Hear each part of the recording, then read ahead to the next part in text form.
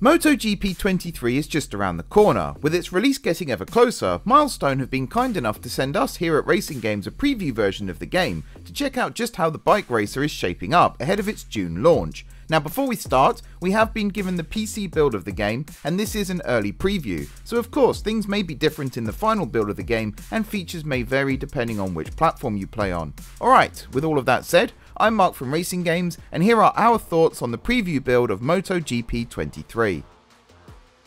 First up then, the visuals. Even in this beta, the game looks stunning. Admittedly, I did have to turn down some graphic settings to get the game to run smoothly on my slightly older PC, but even then I was impressed by just how good the game looked on reduced settings. Once I'd managed to tweak my settings accordingly, the game also ran incredibly smoothly, even when capturing gameplay. Now things may be different on the old gen version of the game, more akin to MotoGP 22 and 21's appearance, but current gen players should look forward to crisp graphics and smooth frame rates when the game launches in June. Along with the visuals, the audio in the game is fantastic. You can almost feel the engines through the speakers, with each team's bike sounding unique. As a big fan of the roar of a powerful engine, I was almost literally blown away the first time I shot off the starting line. So we've covered sight and sound, let's talk about the gameplay. The preview build of the game limited me to just Grand Prix and time trial modes, with access also to the rider and bike customization screens. The footage you're seeing on screen right now was captured during my first playthrough, so do excuse the awful racecraft. We'll come back to the on-track experience in a bit, but first let's talk about setup. When entering a time trial, you can pick your rider and team, track, time of day, and weather settings. When competing in a Grand Prix, the settings are even deeper, with the ability to choose which sessions to take part in across the race weekend. For my first attempt, I decided to just jump straight into the action and hit the track for a time trial to get to grips with the bike, quite literally as it turns out. As someone new to bike races, I immediately switched to rookie difficulty for my first foray out onto the track. Picking a circuit I'm familiar with like Silverstone also helped, as the layout is the same as the F1 configuration, allowing me to focus fully on the bike.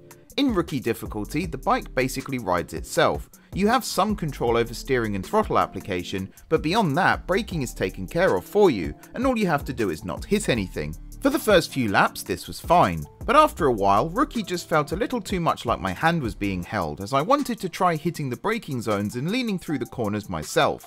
However, the gap between Rookie and the next difficulty setting is vast. Even adjusting the steering, throttle and brake assists individually made the bike suddenly feel unstable. Flicking the steering assist down a notch made me lose the bike on every corner entry. Adjusting the throttle made me lose it on corner exit. And even taking the braking assist down by one caused the bike to go straight on at every corner. As a novice to the MotoGP series, this could just be me being more used to four wheel racing than two but for other newcomers to the franchise, this could be seriously off-putting. There is another setting where the bike follows the ideal trajectory around corners, with the middle steering assist setting supposedly designed to help align the bike to this trajectory as you enter each lean, but this just wasn't working for me. Hopefully the release version of the game will have the difficulty modes a little closer together, especially for players who don't want to just watch their bike ride itself, but also don't want to be sliding on their backsides at the back of the grid every race. I would have loved to have been able to get stuck into at least the first race of a career mode, but this wasn't available in the preview build I was given. One thing I will say though is despite me struggling to control the bike when assists were turned down, I'm very much looking forward to playing the career mode in the full version of MotoGP 23.